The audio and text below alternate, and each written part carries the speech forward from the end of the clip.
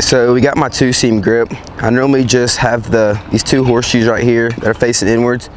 I normally just try to grip on the outer parts of those and just throw it and then on command it should do what I want it to do. And then we'll switch over to my slider grip. I normally just hook the side of the ball and try to get on top of it as much as I can to get more of that downward drop. And then we go to my four seam.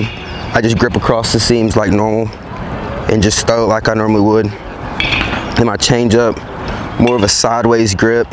And if I throw it and pronate my wrist how I'm supposed to do, it should drop like a normal change up.